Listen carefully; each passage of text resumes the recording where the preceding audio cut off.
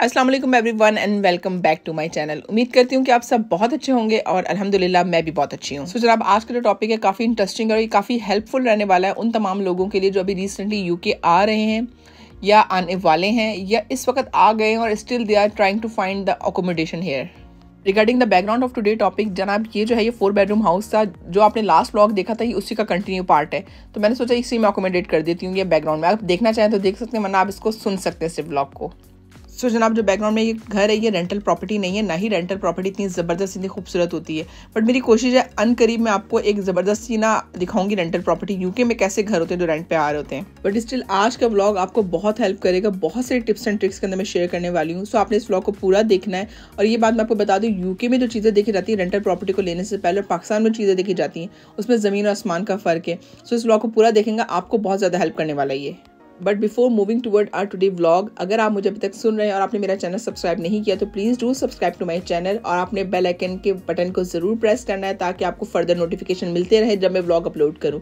उसके अलावा आपने लाइक शेयर एंड कॉमेंट भी ज़रूर करना। मुझे ज़रूर बताना है अगर आपकी कोई राय है, कोई रिकमेंडेशन है।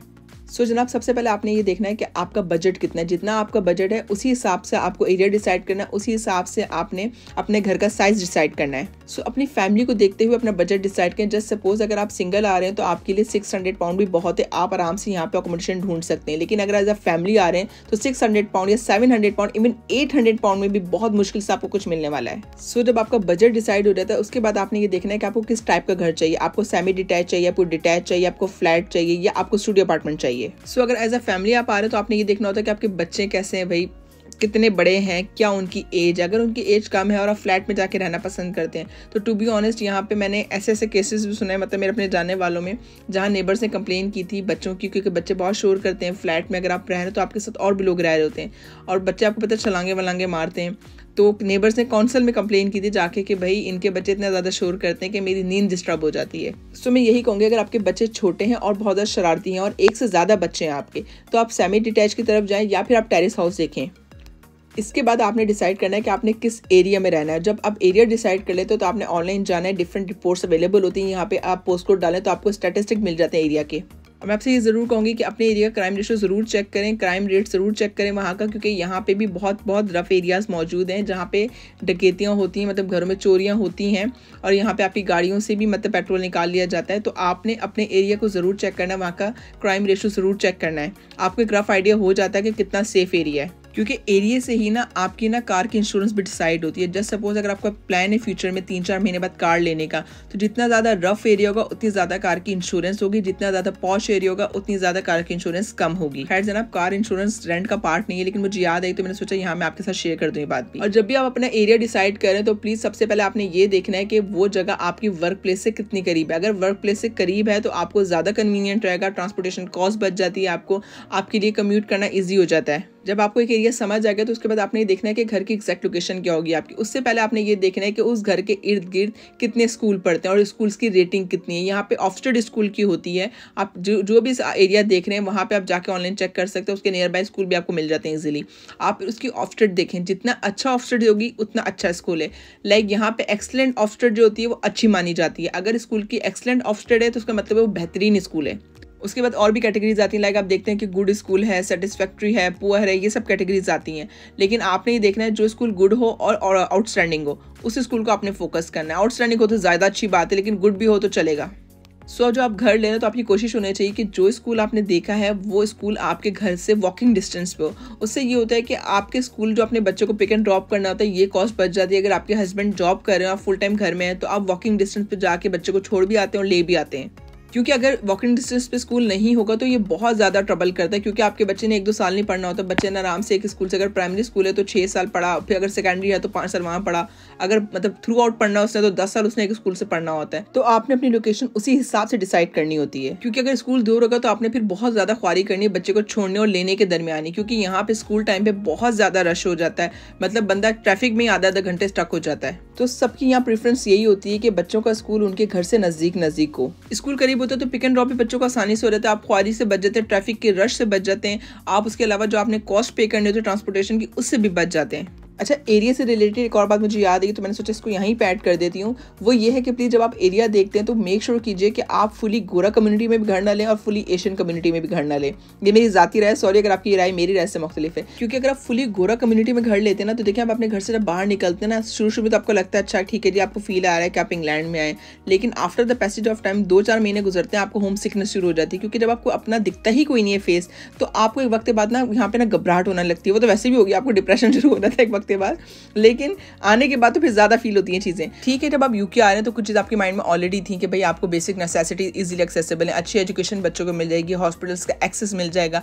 ये चीज़ें तो यहाँ साथ लगी हुई हैं। लेकिन जब आप यूके आए तो आपको समझना पड़ेगा कि यूके एक मल्टी कल्चरल सोसाइटी को रिप्रेजेंट करता है। यहाँ पे डिफरेंट बैकग्राउंड से डिफरेंट जगहों से लोग आके आबाद हुए हैं। सो मैं हमेशा रिकमेंड करती हूँ कि एक मिक्स कम्युनिटी में रहना चाहिए, जहाँ पे इंडियन भी है पाकिस्तानी भी है बांग्लादेशी भी है श्रीलंकन भी प्योर गोरा भी है। इससे ये होता है कि आप एक मल्टी कल्चरल सोसाइटी में रहते हैं आपके बच्चों में भी वो टॉलरेंस लेवल बिल्ड होता है डिफरेंट कम्युनिटी के टूवर्ड्स रिस्पेक्ट लेवल बिल्ड होता है। ज़ाती तौर पर मुझे ऐसा लगता है कि मिक्स कम्युनिटी में रहना ज़्यादा बेहतर होता है। सो जनाब, आपने घर भी देख लिया एरिया भी देख लिया स्कूल भी समझ आ गया, उसके बाद बात आती है यहाँ पे टैक्स बैंड की। आपने ये देखना है कि आपके घर का जो बैंड है, जो आप किराए पे ले रहे हैं घर, उसका टैक्स बैंड किया है? क्योंकि टैक्स बैंड से आपका ना कौंसल टैक्स डिसाइड होता है। और यहाँ पे आप ऐसे नहीं कर सकते, आप नेबर से पूछ लें कि भाई आपका कौंसल टैक्स कितना है। ऐसा नहीं होता। अगर आपके नेबर का काउंसिल टैक्स जैसे सपोज़ वन है तो हो सकता है आपका टू हो। वो ऐसे होता है। आपका नेबर जो रह रहा है, हो सकता है वो टू बेडरूम हाउस में रह रहा हो। उसका भी डिटैच हो, लेकिन आपका थ्री बेडरूम डिटैच हाउस है। आपका काउंसिल टैक्स आपके घर के हिसाब से डिसाइड होगा, उनका काउंसिल टैक्स उनके घर के हिसाब से डिसाइड होगा। और हो सकता है अक्रॉस द रोड आपके टेरिस हाउस जा रहे हो, पट्टी उनकी हो।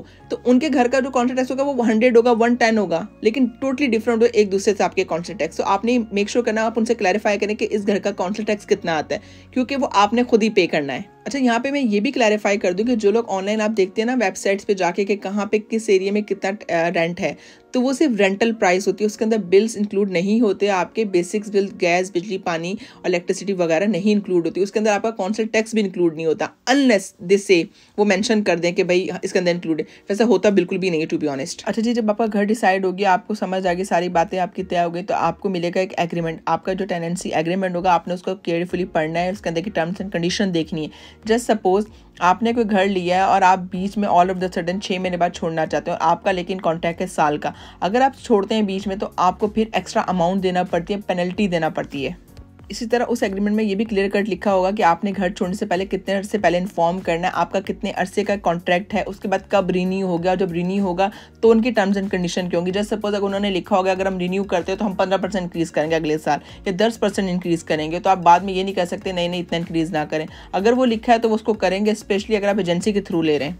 आपने ये भी देखना है कि आप जो डिपॉजिट दे रहे हैं, उसकी टर्म एंड कंडीशन क्या है वापस मिलने की, क्योंकि यहाँ पे एजेंसीज में ये होता है, अगर आपका डिपॉजिट रखा जाता है आपके जाने से पहले वो एक सर्वेयर सेंड करते हैं, वो अपना आपको देख चेक करते हैं कि घर का कंडीशन कैसी है, जैसे दी थी वैसी है या नहीं है। और उस घर में अगर कोई भी डैमेज होता है तो डिपॉजिट के अमाउंट में से वो पैसा काट लिया जाता है। उसके अलावा जब आप प्रॉपर्टी इट सेल्फ देख रहे हैं तो आपने प्लीज़ मेक श्योर करना है कि उसमें फायर अलार्म हो, उसके अंदर उसके अंदर एमरजेंसी डोर हो, जो आपके पास फायर एग्जिट डोर होता है, वो हो उस घर के अंदर। उसके अलावा आप ये देखेंगे, उस घर में मोल्ड वगैरह तो नहीं है सीपेज वगैरह तो नहीं आई भी, क्योंकि बच्चे अगर आपके घर में खास तौर पर हैं तो ये मोल्ड वगैरह बहुत ज़्यादा इफ़ेक्ट करती है, बच्चों को साइनस का प्रॉब्लम हो जाता है। जैसे सपोज़ आप प्रॉपर्टी देखने गए और आपको वहाँ पे मोल्ड दिख गई है तो मैं आपको पर्सनली एडवाइस करूँगी, जब तक उसकी ट्रीटमेंट ना हो जाए मोल्ड की, तब तक उस घर में मूव ना करें। क्योंकि अगर इसको सही से ट्रीट ना किया जाए तो आफ्टर पैसेज ऑफ़ टाइम ये वापस आ जाती है घर के अंदर। उसके अलावा अगर आप फर्निश घर ले रहे हैं तो प्लीज़ उनसे एक पूरी लिस्ट लीजिए। जो चीज़ें उस घर में इंक्लूड है, वो उस लिस्ट पे लिखी हो, ताकि जब आप एग्जिट करें, घर को छोड़ें तो आप मेक श्योर करें कि आपने सब चीज़ें सही हालत में दी हैं मौजूद।